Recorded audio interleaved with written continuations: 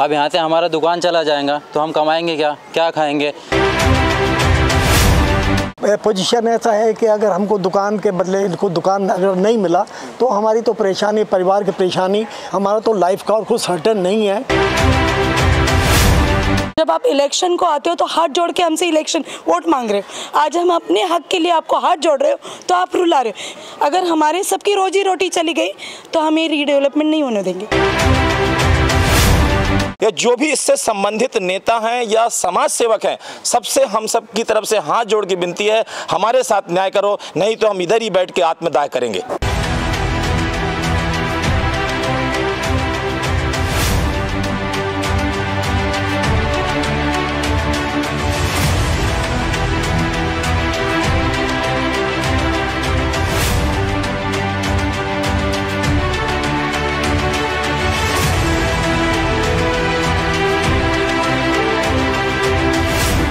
नवी मुंबई में बड़े पैमाने पर रीडेवलपमेंट चल रहा है। हालाँकि उसमें जिस तरह की धांधली हो रही है, उससे तमाम जो रहवासी हैं, वो पीड़ित हो रहे हैं। वासी के एक सोसाइटी है, कैलाश शिखर। उसमें भी कुछ लोग इस तरह से पीड़ित हुए हैं कि उनकी दुकानें थी, लेकिन अब उन्हें नहीं दी जा रही हैं। ऐसी तकरीबन 35 दुकानों का मामला सामने आया है, जिसे लेकर सवाल उठ रहे हैं। हालाँकि बिल्डर, विकासक और जो उसके प्रमोटर हैं, वो उन, कोई सुनवाई करने के लिए तैयार नहीं है। उनमें से कुछ ऐसे पीड़ित रहवासी हमारे साथ इस वक्त मौजूद हैं, जिनकी दुकानें हैं। क्या मामला है आपका, जिसको लेकर आप आवाज़ उठा रहे हैं? हम 20 से 25 साल से यहाँ बिज़नेस कर रहे हैं। अब हम कहाँ जावे? हमारा भी कुछ न्याय किया जाए, हमें कुछ सुविधा दिया जाए, हमें दुकान मिला जाए, कुछ न कुछ जो भी गवर्नमेंट का टैक्स है, हम सब कमर्शियल भरते हैं सोसाइटी कमर्शियल है प्रॉपर्टी टैक्स कमर्शियल है, सिडको का जो भी टैक्स या इलेक्ट्रिसिटी का जो भी टैक्स है, हम सब कमर्शियल दे रहे हैं। तो हमें भी हमारा न्याय दिया जाए और हमें दुकान मिलने की सहमति दिया जाए और हम लोग अभी जावे का और रही बात भाड़े वाली रूम वाले को नौ हज़ार रुपये भाड़ा दिया जाए। अब नौ हज़ार रुपये में हमारे को तो दुकान मिलने वाली नहीं है। अब हम कहाँ जाए? या हमारी भाड़े की थोड़ी व्यवस्था किया जाए, हमारे डिपॉजिट की भी व्यवस्था किया जाए। हम रीडेवलपमेंट के अगेंस्ट में नहीं है। पर हमारे को हम 25 साल से यहाँ बिज़नेस कर रहे हैं तो हमें कुछ न कुछ सुविधा दिया जाए। ये हमारे रिक्वेस्ट है। जब आप बिल्डर के पास जा रहे हैं तो क्या जवाब आपको मिल रहा है कि आपकी दुकानों के बदले क्या कोई दुकान मिलने वाली है? अभी सामने से अगेंस्ट में ना नहीं बोल रहे। हाँ बोल रहे हैं मगर ये नहीं बोल रहे कि हम लिखित में देंगे। हम देंगे हम कोशिश करेंगे मगर अभी वो कंफर्म नहीं कर रहे। हम बोल रहे हैं हमको डॉक्यूमेंट में लिख के दो। आप दुकान दे रहे कितना स्क्वायर फीट दे रहे कब दे रहे कैसा दे रहे वो हमें कोई क्लियर नहीं कर रहे। बस हम देंगे हम आपका करेंगे। बस ये अभी तक हमारा बातचीत चल रहा है। कोई क्लियर जवाब बिल्डर की तरफ़ से नहीं मिल रहा है। दूसरे एक दुकानदार हैं उनसे हम पूछने की कोशिश करते हैं। कौन नहीं सुनवाई कर रहा? ये सब ये हमारा बेटा एक तो मन मन बुद्धि है। वो कृष्णा जेरोक्स जेरोक्स का काम करता है पिछले 20-25 साल से। और उसका और कोई सोर्स ऑफ़ इनकम नहीं है। अभी पोजीशन ऐसा है कि अगर हमको दुकान के बदले इनको दुकान अगर नहीं मिला तो हमारी तो परेशानी परिवार की परेशानी और मैं तो पिछहत्तर साल का आदमी हूँ हमारा तो लाइफ का और कुछ सर्टन नहीं है। तो बेटे के लिए हम चाहते हैं कि कम से कम हमारे बाद में वो खुशहाल जी सके। जो मजबूती हाँ मतलब आपका बच्चा खुशहाल जी सके इसलिए आप अपनी दुकान के बदले में दुकान चाहते हैं। क्या कहेंगे मैडम? क्या दिक्कत है? जब आपका हक है तो वो मिल क्यों नहीं रहा? आखिर कौन है जो दुकान के बदले आपको दुकान नहीं दे रहा? रीडेवलपमेंट की पॉलिसी ऑन पेपर आ गई है। कहा जाता है साढ़े चार स्क्वायर फीट चार सौ पचास स्क्वायर फीट का रूम मिलेगा। On paper twenty nine point nine कुछ दिया जा रहा है मतलब तीन सौ तेरह का ही रूम दिया जा रहा है। इन सब इशू को हम रेज भी नहीं करें, जो भी आपको देना है ऑन पेपर दो। रहा पैंतीस दुकानें more than twenty five thirty year से यहाँ काम कर रहे हैं। ये पूरा मार्केट एरिया है। कोई ना कोई ना कोई इशू बना के बोलते, देंगे, नहीं देंगे. But they are not clear on paper sir कहीं भी आज हम कल जाके कोर्ट में भी बोलेंगे कि हमें इन्होंने कमिटमेंट दिया है, दुकानों के बदले दुकानें देंगे। On which ground will claim जब पेपर पे आप कुछ दे ही नहीं रहे हो। प्लस सोसाइटी का प्लॉट है पंद्रह हज़ार स्क्वायर मीटर का। उसको ग्यारह हज़ार स्क्वायर मीटर ही दिखाया जा रहा है। मतलब केयर नियर अबाउट एक एकड़ का प्लॉट पूरे रिकॉर्ड से ही गायब किया जा रहा है। जब आपको पंद्रह हज़ार स्क्वायर मीटर का प्लॉट मिल रहा है, उसमें आराम से ये दुकानें भी सेटल हो सकती है और ये पूरे रहवासी entire building G plus two की है। जितना एफ़ मिलना चाहिए, उनसे ज़्यादा मुनाफा वो कमा रहे हम किसी की मुनाफे के अगेंस्ट नहीं है, ना ही हम रीडेवलपमेंट की। पर जो हमारे हक है, पिछले 35 साल से दुकानदार है, जब आप इलेक्शन को आते हो तो हाथ जोड़ के हमसे इलेक्शन वोट मांग रहे हो। आज हम अपने हक के लिए आपको हाथ जोड़ रहे हो तो आप रुला रहे हो। फिर से वही वक्त आएगा, आप हाथ जोड़ोगे, हम नहीं सुनेंगे। अगर हमारे सबकी रोजी रोटी चली गई तो हमें रीडेवलपमेंट नहीं होने देंगे, क्योंकि रीडेवलपमेंट के अगेंस्ट नहीं हम। हम बोल रहे बांधो दुआ हम खुद ही प्रपोजल पर प्रपोजल ऐसा नहीं होना चाहिए किसी पे अन्याय हो कि आप अपना फ़ायदा करो। आपका कहना है कि जो आपका राइट है क्योंकि आप लंबे समय से यहाँ रह रही हैं आपने उसके लिए कमर्शियल टैक्स भरा है पानी बिजली का कनेक्शन कमर्शियल है इसलिए इसके लिए आपको आपका हक मिलना चाहिए। क्या कहना चाहेंगे? मुश्किल कहाँ है जिसकी वजह से आप लोगों को आवाज़ उठानी पड़ रही है? हम लोगों को तो हमारी मांग है कि हमारी रोजी रोटी कंटिन्यू रहे। हम सब लोग और हमारे पीछे जो परिवार है इसी के ऊपर है। तो हम सबको न्याय मिले और जिस हिसाब से हमने आज तक दुकान के हिसाब से टैक्स भरा लाइट बिल भरा मेंटेनेंस भरा तो वही हमारी मांग है कि हम सबको दुकान मिले। क्या कौन नहीं सुन रहा है ये जो आपकी डिमांड है और क्यों नहीं सुनी जा रही? हमारा प्रेम लांड्री से आज पैंतीस साल हो गए। उसी में से हमारा रोजी रोटी चल रही है। अभी ऐसा दुकान नहीं बोल रहे रूम मिलेगा तुमको दुकान नहीं मिलेगा तो हम लोग कहाँ जाएँगे? फांसी लगा के मर जाएँ। यही हमारा हमको हमारे दुकान के बदले दुकान ही चाहिए हम। दुकान के बदले दुकान चाहिए। जैसा आपने सुना सुरेश गुप्ता जी आप आप बताइए एक्चुअली लीगल मामला ये क्या है? किस बात को लेकर ये बिल्डर और जो विकासक हैं वो मना कर रहे हैं कि आपको दुकान नहीं मिलेगी देखिए सर पिछले कई वर्षों से हमारा शिव शक्ति फ़ोटो स्टूडियो है। और हमको बहुत खुशी हुई जब ये प्रोजेक्ट आया कि भाई अरिहंत बिल्डर बना रहा है, बहुत अच्छा बिल्डर होगा और अच्छा बनाएगा। और हमारे श्री किशोर पाटकर साहब जी, जो सोसाइटी के सेक्रेटरी हैं तो हम लोग बहुत खुश हो गए कि हमारे नगर सेवक ही जब इसको प्रमोट कर रहे हैं तो ये काम बहुत अच्छा होगा। लेकिन अचानक एक दिन बुलाया जाता है मीटिंग में और कह दिया जाता है कि दुकानदारों को कुछ नहीं मिल, दुकानदारों का नाम ही मत लो, ये घर है। जबकि हमारे पास गुमास्ता लाइसेंस है।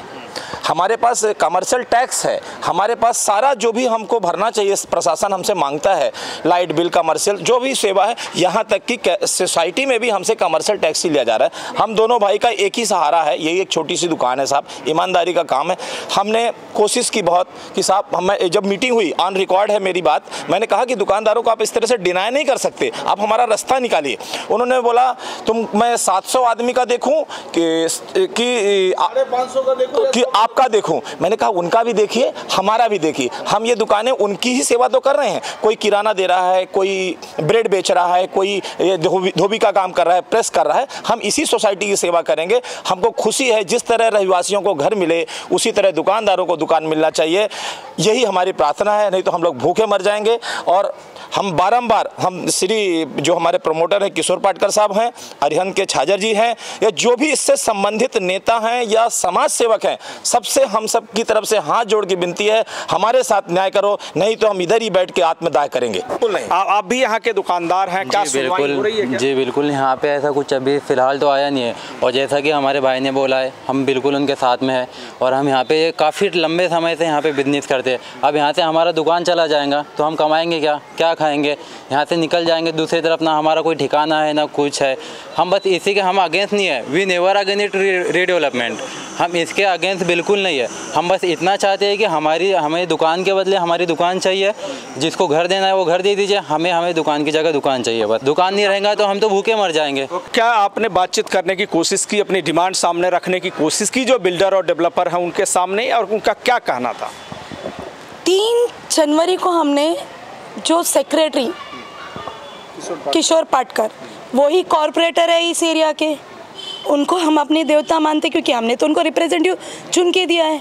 हम उनके भरोसे ही भाग रहे उनके साथ हमने पूरे सारे 35 लोगों के आसपास बहुत सारे मेंबर में मीटिंग की।